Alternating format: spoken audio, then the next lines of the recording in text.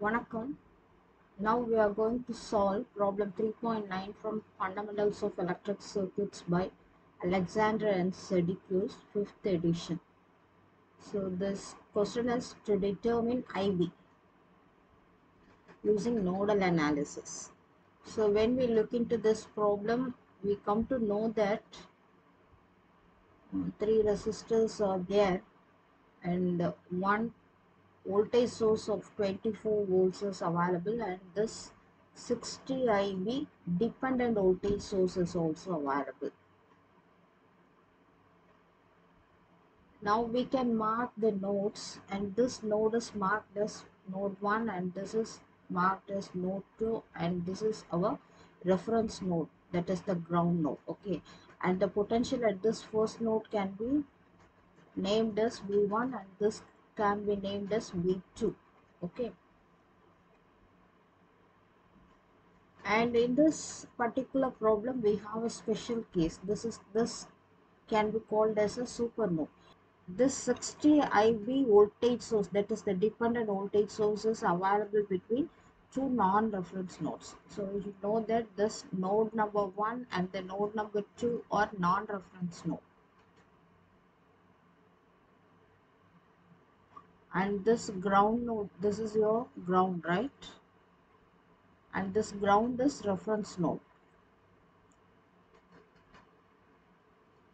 and the super node is the node in which the voltage sources that is the dependent or independent. Okay here it is dependent. Dependent or independent voltage source is connected between non-reference nodes then these nodes will be considered as a single node. That is important. Okay. That's why we termed it as one two. Okay. This will be considered as a single node. Now we are marking the currents. So from first node we can mark the current as i1 which is flowing towards this reference node. Similarly from the second node the current i2 is leaving the node. Okay since we have to apply nodal analysis we are going to apply KCL right? Kirchhoff's current law. Kirchhoff's current law states that in a particular node summation of entering currents is equal to summation of leaving current isn't it? So now we are going to apply this KCL at node 1 2 that is the super node so at the super node what are the incoming currents incoming currents only this IB and the outgoing of I1 and I2. So for IB I can write it like uh, it is at this point 24 volts is available right. So the current is flowing from this point to this point that is from 24 volts to V1 right. So it is 24 minus V1 divided by the resistance 250 ohms. Okay. that is equal to i1 i1 is v1 minus that zero potential. This is at zero potential. So v1 minus 0 divided by this 50 ohms plus what is i2 i2 is at v2 potential. Okay. So it is at v2 potential minus 0 divided by this 150 so in this we can cancel out the 0 0 0 similarly 5 okay so this is 3 times this is 5 times like that so what do we get? We get it as 24 by 5 minus v1 by 5 minus this v1 okay. Then minus this v2 by 3 that is equal to 0 so I can rewrite this as v1 by 5 minus v1 minus v2 by 3 that is equal to minus 24 by 5 so we can cancel out the minus sign everywhere right? So it becomes plus. So taking common denominator here as 15 this becomes 3v1 plus 15v1 plus 5v2 that is equal to 24 by 5 so again cancelling out this 3 and cross multiplying this by 24 multiplied by 3 we get this equation as 18v1 plus 5v2 that is equal to 72 so this is our first equation. One more thing we should know that if you have the super node, we are going to apply KCL as well as we have to apply the KVL. Okay, KVL is the voltage difference uh, that is in a closed loop. But here what we have to do is this voltage source dependent voltage source that can be written as V1 minus V2 that is equal to 60 IB. Okay, this would be our second equation.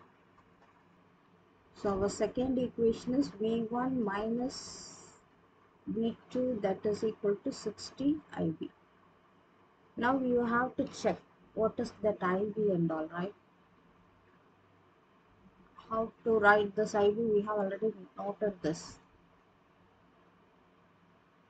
how to write this IB? We know that it is 24 minus V1 divided by 250.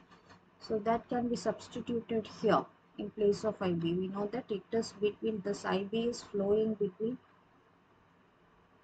this 24 volts potential and this V1 potential and 250 ohm resistance is there. So this is your IB as per this is IB given in the problem itself. So IB we have already noted it as 24 minus V1 divided by 250. Okay. So what is this V1 minus V2 that is equal to 60 times 24 minus V1 divided by this 250 right. So you can cancel out this and cross multiply this 25 so this is 25 v1 minus 25 v2 that is equal to 6 into 24 it is 144 minus 6 v1 so when I bring this 6 v1 to this side becomes plus 6 v1 so that it becomes 31 v1 minus 25 v2 that is equal to 144 so I get the second equation. So in order to solve this equation I can multiply this first equation by 5 so that we can get this as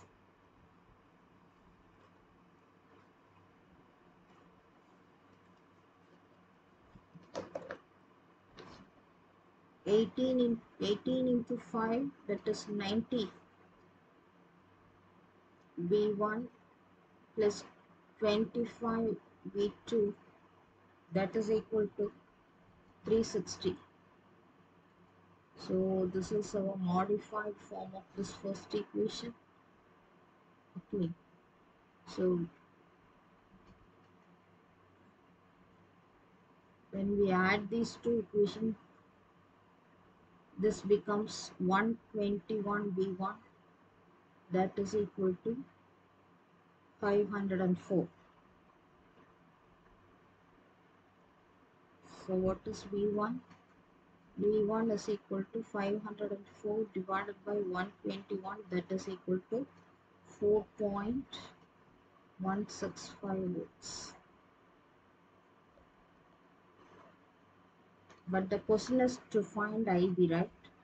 In this we can substitute the value of V1 V1 is 4.165 divided by this 250 that gives the value as 0.07934 amps. Or we can write this IB as 79.34 milliamps so this is our answer. So this IB equal to 79.34 laps thank you.